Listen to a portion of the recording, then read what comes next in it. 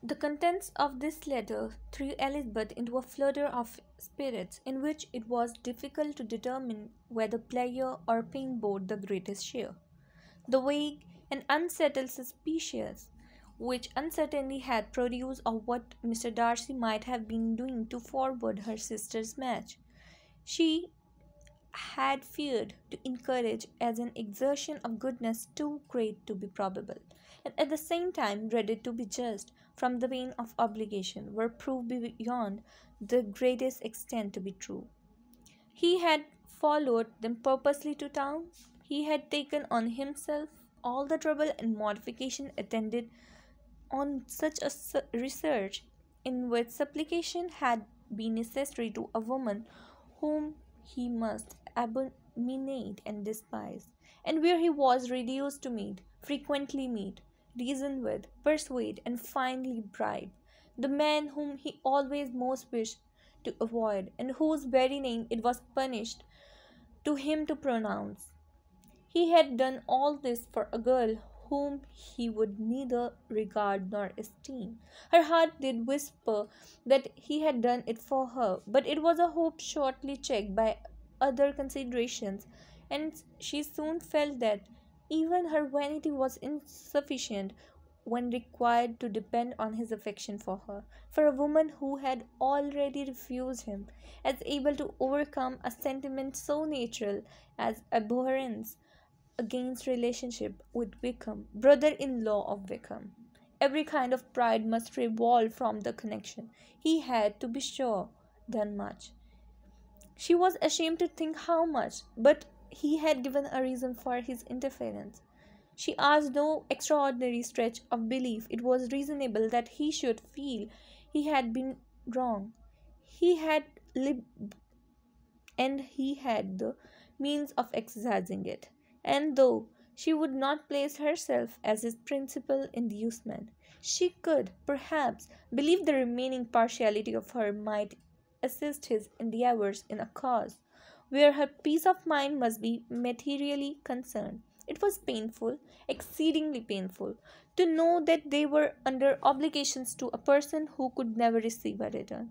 They owned the res- restoration of Lydia, her character, everything to him. Oh, how heartily did she grieve over every ungracious sensation she had ever encouraged, every saucy speech she had been ever directed towards him. For herself, she was humble, but she was proud of him. Proud that in a cause of compassion and honor he had been able to get the better of himself. She read over her aunt's commendation of him again and again. It was hardly enough, but it pleased her. She was ever sensible of some pleasure, though mixed with regret, on finding how steadfastly both she and her uncle had been persuaded that affection and confidence subsisted between Darcy and herself. She was rose from her seat in her reflection by some one's approach, and before she could strike into another path, she was overtaken by Wickham.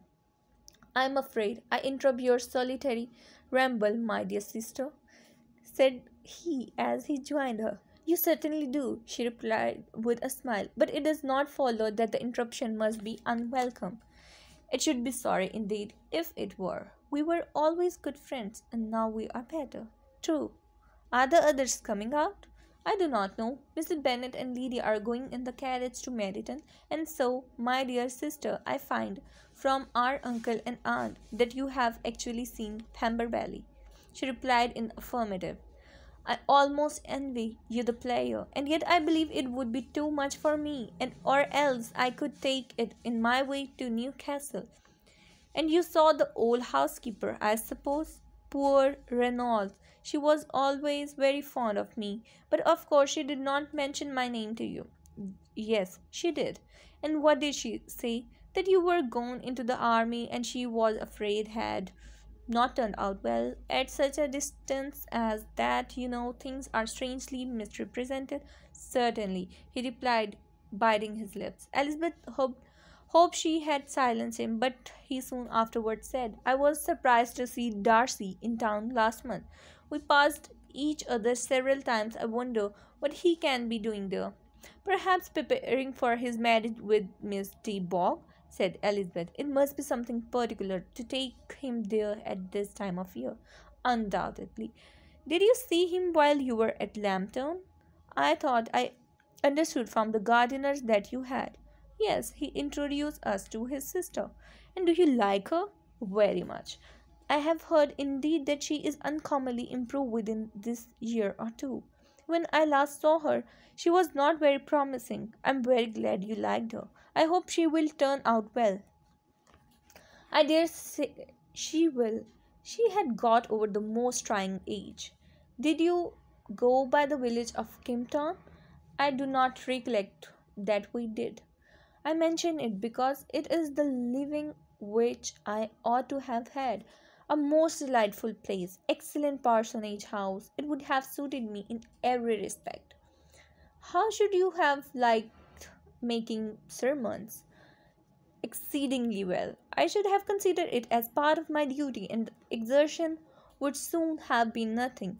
One ought not to repine, but to be sure it would have been such a thing for me. The quiet, the retirement of such a life would have answered all my ideas of happiness. But it was not to be. Did you ever hear Darcy mention the circumstances when you were in Kent? I have heard from authority which I thought as good that it was left you conditionally only and uh, at the will of the present patron. You have.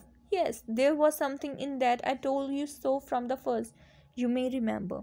I did hear, too, that there was a time when sermon making was not so palatable to you as it seems to be at per- present that you actually declared your resolution of never taking orders, and that the business had been comprised accordingly. You did, and it was not wholly without foundation. You may remember what I told you on the point when first we talked of it. They were now almost at the door of the house, for she had walked fast to get rid of him, and unwillingly, for her sister's sake, to provoke him. She only said in reply, with a good humoured smile, Come, Mr. Wickham, we are brother and sister, you know. Do not let us quarrel about the past. In future, I hope we shall be always of one mind. She held out her hand. He kissed it with affectionate gallantry, though he hardly knew how to look, and they entered the house.